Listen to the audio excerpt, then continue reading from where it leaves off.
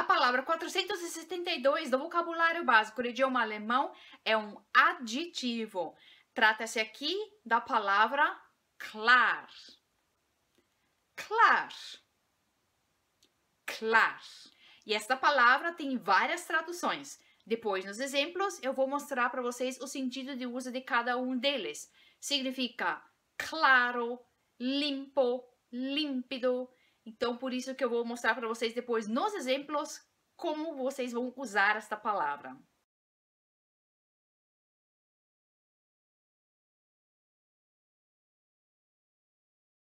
Para esta palavra, eu tenho agora alguns exemplos para vocês em diferentes sentidos de uso. O primeiro exemplo seria a palavra klar, me referindo aqui a, por exemplo, água. Uma água límpida ou limpa, que na verdade são sinônimos. Então, nós temos aqui um exemplo embaixo. Das Wasser ist klar. Das Wasser ist klar.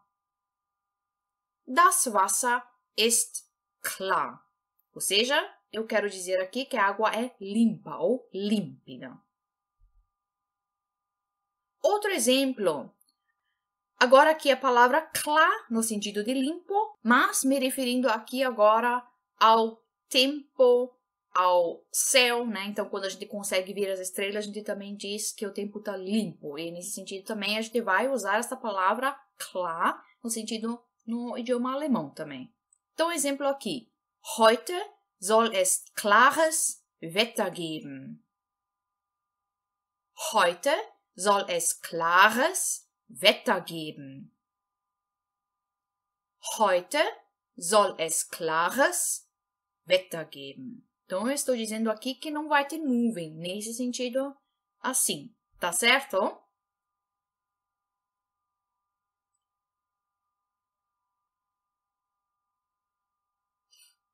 O que nós também podemos usar ainda é a palavra klar no sentido de durchsichtig, ou seja, transparente. Então, durch significa através e sichtig é ver, enxergar. Então, enxergar além.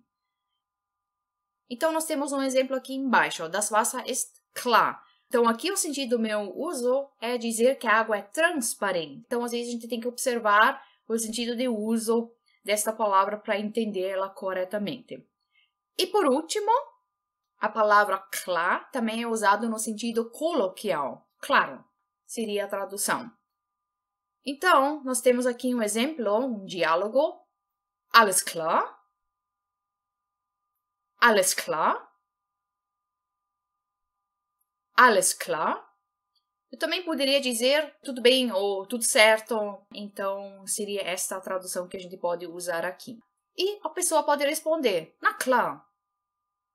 Na klar. Na klar. Então, isso é muito usado no nosso dia a dia no idioma alemão, tá certo? Mas isso aqui é apenas a linguagem coloquial, tá? Então, eu agradeço muito por vocês terem assistido esse vídeo. Eu aguardo agora embaixo vocês escreverem os exemplos de vocês com esta nova palavra. Deem o seu like, se inscreva aqui no canal e até o nosso próximo vídeo.